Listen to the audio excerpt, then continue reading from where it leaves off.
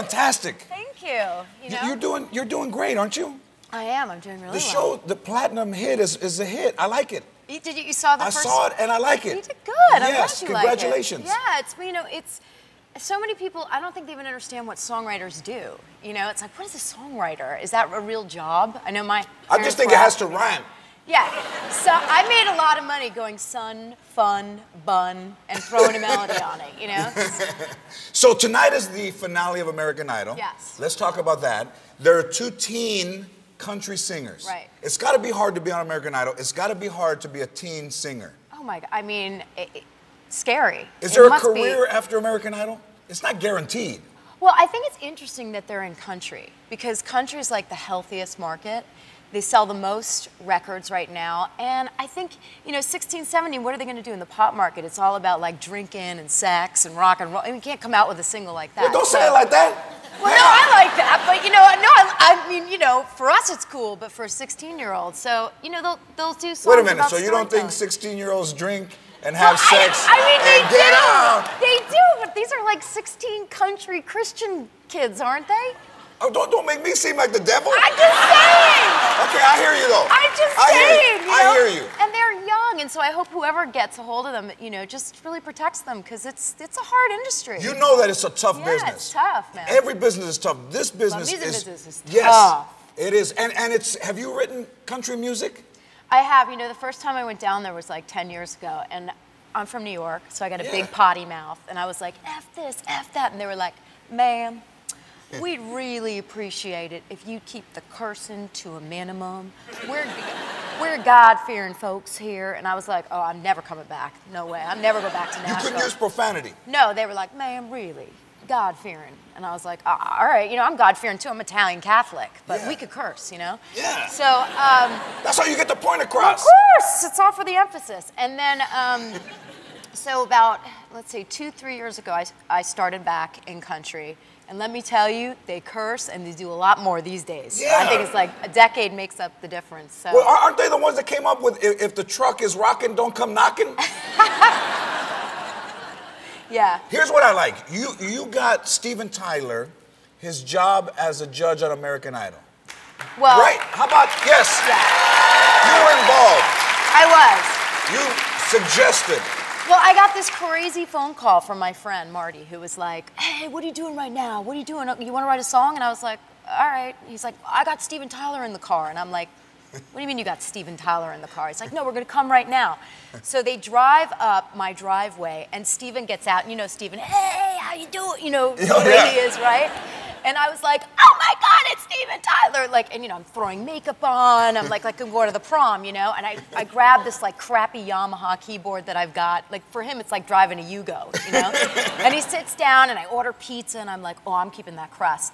And he starts playing Dream On, and I was just like, "Oh!" And I just had this magical day with him for like four or five hours, and he was so kind and funny and talented that I, I gave his name to the producers and I and I texted him and said, Hey, do you wanna, you know, be on American Idol? He's like, Does it have good ratings?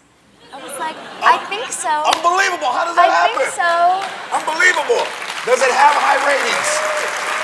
I love him for that though. He's like, does it have high ratings? So Does yeah. it? Yeah. So did you get a, a, a finder's fee like DirecTV? I seen the commercial where you No, recommend you know- somebody and they turn into money. Did you get money? I feel like I should get a finder's fee. I'm gonna ask him to do a private concert for me and some friends. that How would be that? yeah. I'm, I'm still fascinated how he can be funny and musically and great sober. I, I, I don't understand that. Congratulations. So so that's amazing. Yeah. Funny and sexy and all that. He is. So you stayed at, at Paula Abdul's house when at time when you were coming up. Yes. And, and, and was she a good roommate? Were things left out? Did she say, okay, like a, with white tape, this is yours, that's mine. Those are my potato chips. Don't. Those are yours. Uh, Well, those I are got your wheat into, thins. yeah, I got into a little trouble because she went away and she left me. Um, she let me stay in her place, and the maid at the time found some brownies, and took them out of the freezer and left them in the refrigerator. And I hadn't really eaten much that night, and came home and there were like these, you know, little nuggets, little. Yeah. You know, you take six, not a lot. Yeah. Yeah. Yeah. Yeah. Six hours later, I was like, "Hey, what's going on? Wait. Wait. How you doing?" Wait a minute. Oh yeah. I fell out of bed on the floor, and I was like, I stumbled downstairs, and I was like, brain tumor. coma." and and the ambulance comes, and the guy's like, this bitch is high as a kite. And I was like, high as a kite. I don't even smoke pot. This bitch is high as a kite. And I was like, no, no, I, don't, do, I don't do, no, no, I don't do pot. And so, you know, three days in bed. My father's like, Jesus Christ, you gotta go in the music business, a bunch of drug addicts, you know? And I was like, but it wasn't, they weren't hers. Someone had left them, you know, from a party and frozen them. And the maid took them out. She had one. She went in the hospital. I had six. I almost died. That's it. Oh my God. I was like hallucinating. Yes. I, I was on IV.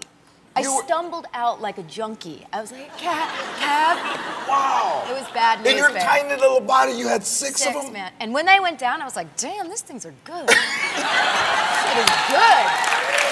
I gotta get me more of those. Wow. That's Not that's great. What, yeah. Does it help you write? I mean, you couldn't write then because you were in a that day, coma. That day, no, I wasn't writing anything that day. But you know, one of my favorite songs I co-wrote with Pink, and we were, um, it was called "Sober," and we were drunk, totally drunk, you were drunk when you wrote sober. totally drunk, totally drunk. I was so drunk that I remember leaving the studio and pulling over on the PCH and being like, I, I think I'm really drunk. I shouldn't be driving. Like I had to stay there for two hours and like sober up. It was really bad.